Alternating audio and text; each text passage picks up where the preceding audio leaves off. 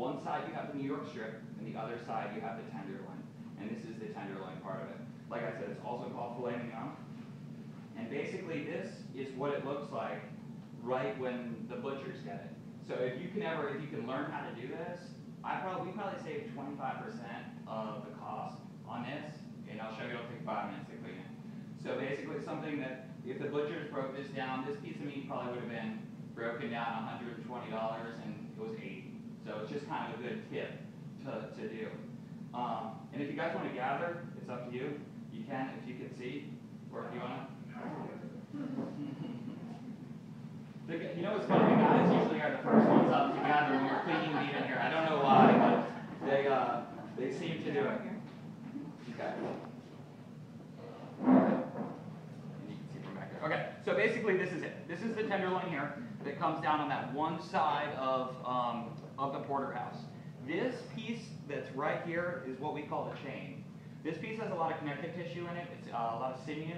Uh, you can use that. You can like stew it for a long time for something like pot roast in the restaurants. We sometimes use it for braised meat. If you ever hear of braised beef, it's basically a fancy way of saying, well, all the waste that we have, we're not gonna really use in the steak, so we're gonna cook it and we're gonna use it for a ravioli filling.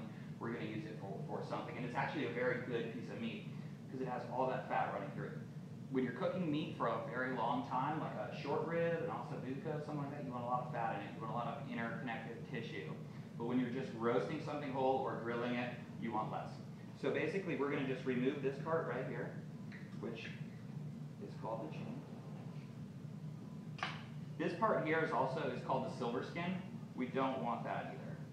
So we're gonna take that off, and you can actually, we'll get in there with a knife, but you can really just pull it off with your hands if you want.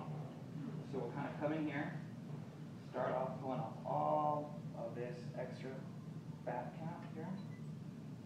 And then right down here, you can see, see how this part right there, it's just a solid, lengthy piece that has a lot of fat and whatnot. So we're gonna remove that. And this is the piece that we would cook for a long period of time, um, called the chain. And if you do clean this, I would not throw this away. I would put it in a pot with some carrot, celery, onions, maybe a little beef broth, and cook for about four hours, and it will fall apart like the best pot roast you've ever had.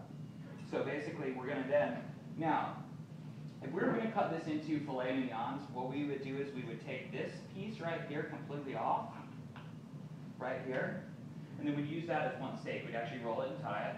But what we're gonna do for this class is we're gonna rub this guy down with some herbs and some garlic and roast it whole.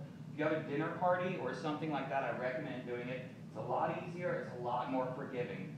You could put it in there, it's gonna take us about twenty-seven minutes at five hundred degrees, and, uh, we're gonna